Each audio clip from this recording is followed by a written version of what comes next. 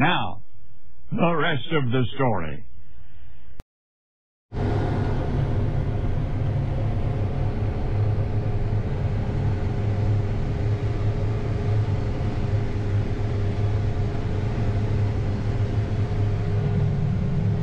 I don't know if you guys can read that, but the monitor is saying I'm going 6.3 miles an hour, running 99.3 singulation, which is exactly where I want to be, if not just a tick more.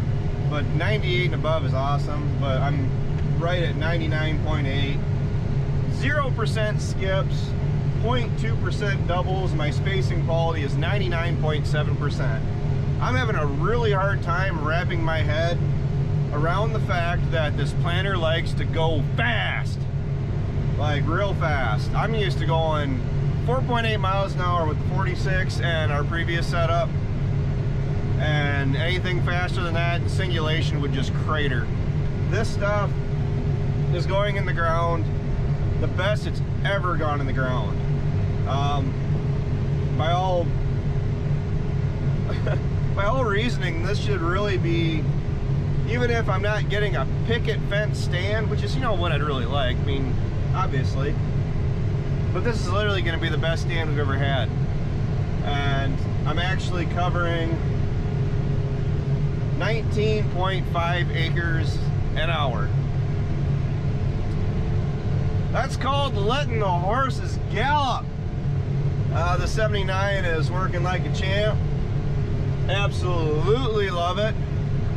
Um, diff lock and front wheel assist for some of these hills because the full fertilizer tank. Um, all the seed boxes were as full as I could get them to start on this field. And I think we got all the bugs worked out of it. So do that, do that. I didn't have the diff lock on yes, I'm driving into the beans a little bit. I guarantee you those beans I'm running over, they just gained 10 bushel to the acre. You think I'm joking, but I'm not. So, it's the 7 16th. What is today? I think it really matters. It is the 17th. You guys probably can't see me. I'm talking quick because I don't have my battery charger. Uh, that's on the bench in the shed I gotta grab before I move to the next farm. But, um, hold on here. I'm trying to line this up the best I can. So, we're gonna do that. We're gonna do that. I shouldn't have done that. I touched the steering wheel. Then go ahead and drop that down.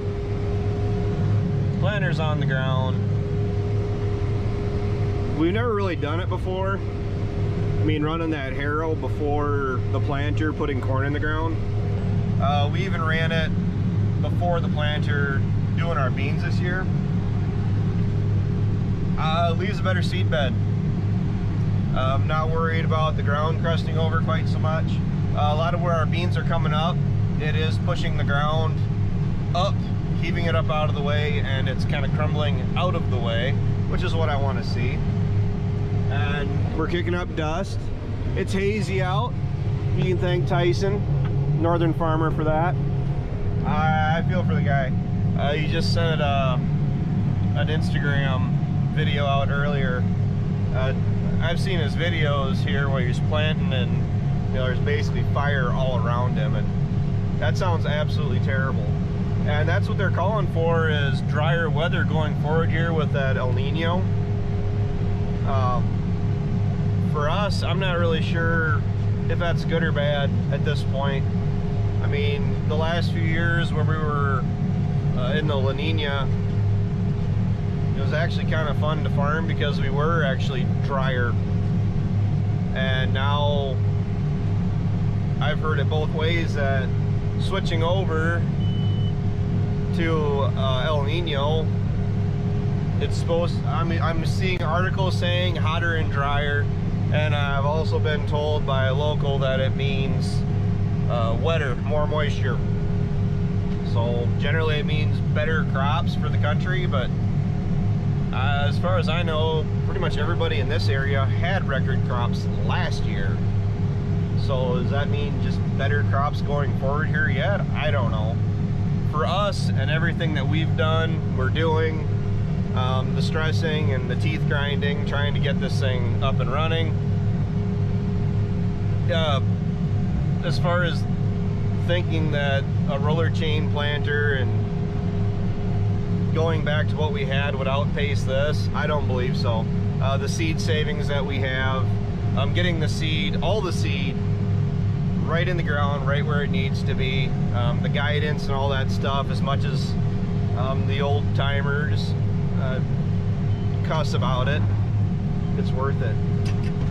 I wholeheartedly believe it's worth it. I mean, if you're willing to beat your head against the concrete running a, an older machine simply because you don't want to deal with the technology, not because it's not something that wouldn't work for your operation. Because don't get me wrong, uh, there's there's operations where they're only running 50, 100 acres of, of crops total. I could see why these new systems wouldn't make any sense. I wholeheartedly do. It's just when you're running any number amount of acres, this stuff pays off quickly. Um, low grain prices the way they are right now, and still being able to get setting yourself up. Nothing's guaranteed until it goes across the scale in the fall, um, but setting yourself up for the best yields you can get sounds a lot better than spraying and praying and just throwing some seed out there and I mean, you get overlaps and your point rows are planting into each other where you got corn on top of corn, you know, your rows are intersecting. I've seen it. Uh, it's a yield robber. Um, only planting what needs to be planted, where it needs to be planted, um, pays bigly. I mean, I really don't feel like getting into a debate with anybody because at this point, you know, people are going to do what they want to do and they'll say whatever they have to to justify it. I mean, going through and replacing, oh gosh, what was it? Over 30 roller chains a year on this thing with our old setup. And then also having to worry about bearings, uh, sprockets that are getting worn out and hooking. That was the issues we had last year in the second half of, of planting. Uh, as far as electronics go, the mice aren't eating your wires. What I got to worry about is electric, electric motors, valve bodies for the hydraulic downforce, maybe a bad hose. I mean, want a good crop or the best crop you can get, I think it's worth putting the money out there and and swinging for the fence. So, being a, successful farmer isn't just about doing a great job planting or harvesting or man, uh, marketing your crops or dealing with insurance or picking your seed hybrids. It's all of that. And that's, I guess that's uh, one of the big challenges that we all got to deal with. But I'm planting this farm at 34,000 seeds per acre. I've planted up to uh, the field I started on last night was 38 but 99.8 99.6 singulation 0.2% skips 0.3% doubles 99.6% spacing quality and the meters are running at 30 revolutions revolutions per minute I'm having a blast when everything's working, I'm having a blast. I'll be running all night tonight because it is the 17th of May. We had every all of our corn in uh, the 19th of May last year. My goals right now are to have everything planted by the 20th. And that is a very real possibility. Seems how I'm going, well, at 19 acres an hour versus the 12 acres an hour before. And that's with the wind to my back and an awful lot of luck, to be completely honest with you.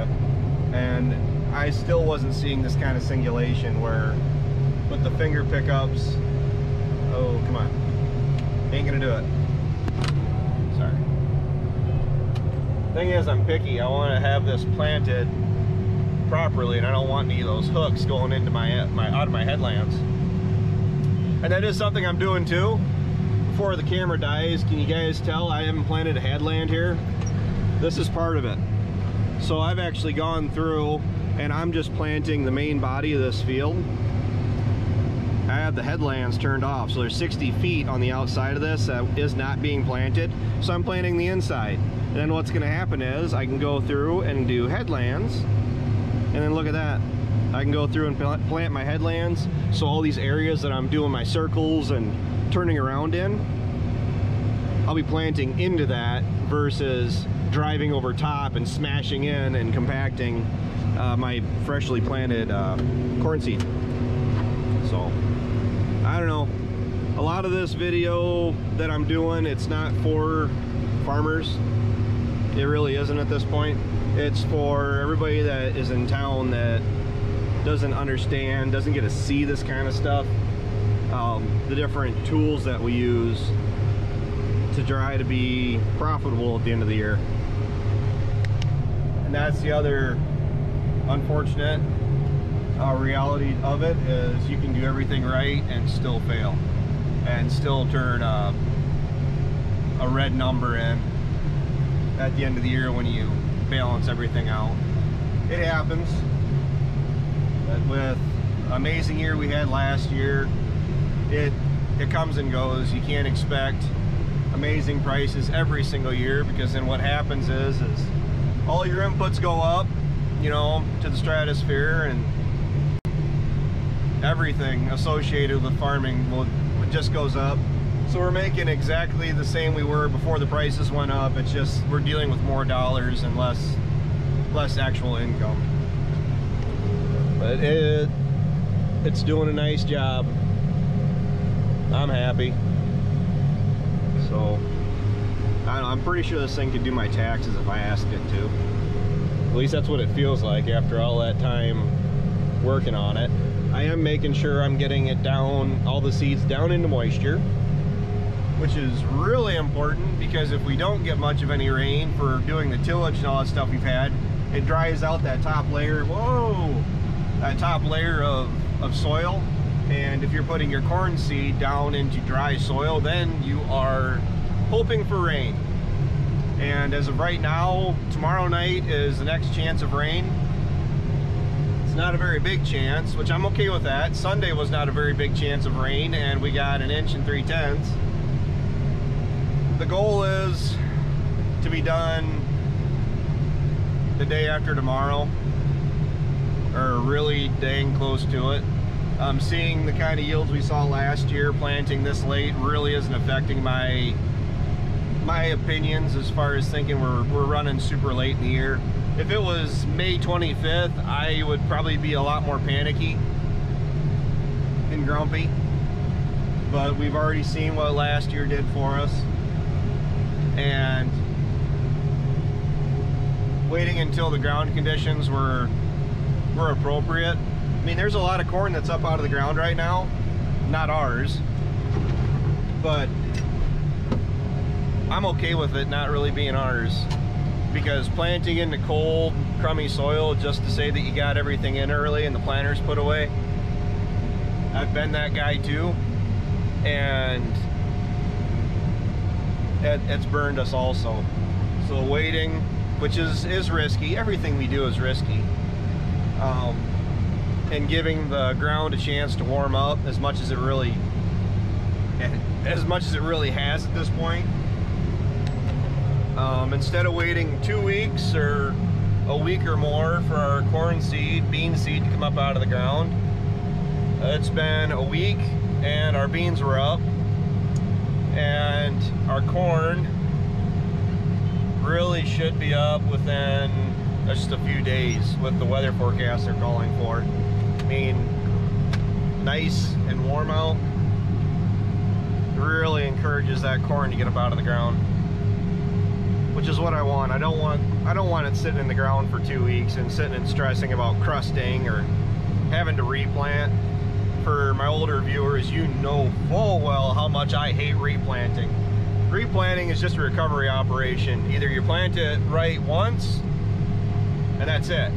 Anything, anything more than that, and and why were you out there the first time, essentially?